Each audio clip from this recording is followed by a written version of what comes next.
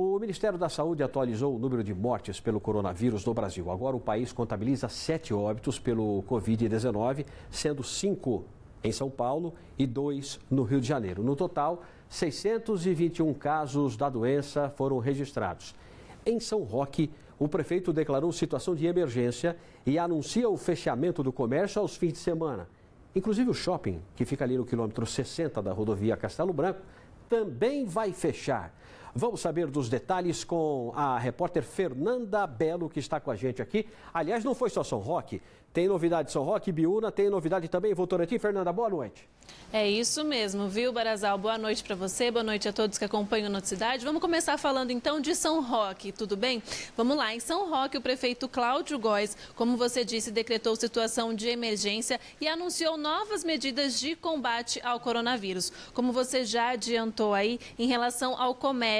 Entre essas medidas, então, está dizendo o seguinte: que lojas, restaurantes e shoppings vão ficar fechados aos finais de semana. Isso não vale, portanto, para isso não vale para postos de combustíveis, distribuidoras de gás, nem supermercados, mercados, mercearias e farmácias. Entre as medidas anunciadas também está dizendo que os pontos turísticos vão ficar fechados e eventos com muita aglomeração estão suspensos também. Aqui também tem a informação informação de feiras livres, que elas continuam, mas sem alimentos sendo feitos na hora, sem, ser, sem ter alimentos feitos consumidos também na hora.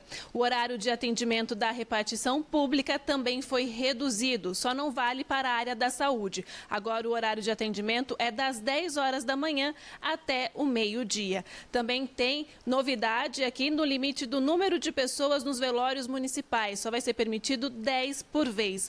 A gente tem ali também a Sonora, uma entrevista com o prefeito Cláudio Góes. Vamos ouvir o que ele disse.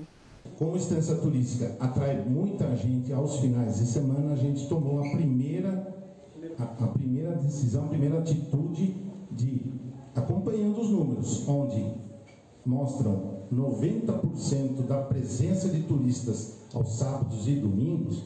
Então a gente no primeiro momento já fechando o comércio todo né, cerceando o comércio, suspendendo as atividades de atendimento presencial, a gente, com certeza, a gente já no primeiro momento diminui a frequência do cidadão a São Roque. Então esse cuidado é muito importante. Inclusive, o próprio Catarina Outlet também, fazendo parte do comércio da região de São Roque, fechará, diante do decreto, fechará as portas às zero hora do sábado até as 24 horas do domingo, neste momento. Só para a gente reforçar então, as lojas, os shoppings e os restaurantes vão ficar fechados aos finais de semana. Isso vale tanto para o sábado quanto para o domingo. Em Ibiúna, o prefeito também anunciou novas medidas aí de combate ao coronavírus. Vamos ouvir o que ele disse. Em Ibiúna foram feitos 12 testes em pessoas com quadros suspeitos. Três estão negativos e nove estão em quarentena residencial, pois o quadro não é grave. Então, para reforçar, em Ibiúna não temos nenhum caso confirmado ainda, 12 pessoas foram testadas, três negativas e nove estão aguardando o resultado em quarentena residencial.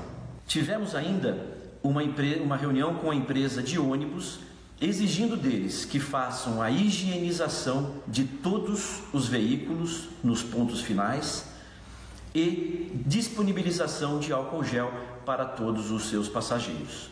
Estamos agindo intensamente para que nós possamos realmente resolver essa questão da melhor forma possível no nosso município.